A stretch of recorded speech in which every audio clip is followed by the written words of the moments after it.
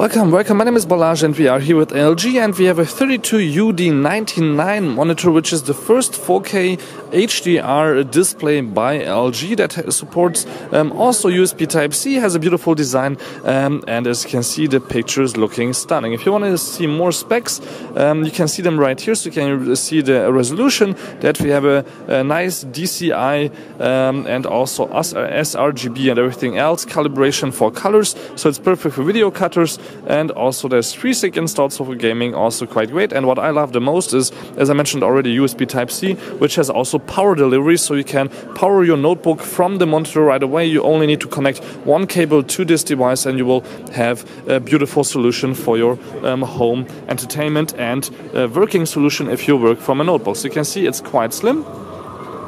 The stand is the regular stand you would usually see. And then we have on the back not only two display ports um, headphone um, and a dis display port but as I mentioned USB Type-C which not only supports power delivery but also USB hub features we can plug in here an external hard drive um, or a mouse or anything that you want maybe even an, an, extra hub and then you can use here all kinds of things just by connecting your notebook um, like especially uh, external storage is quite handy if you ask me.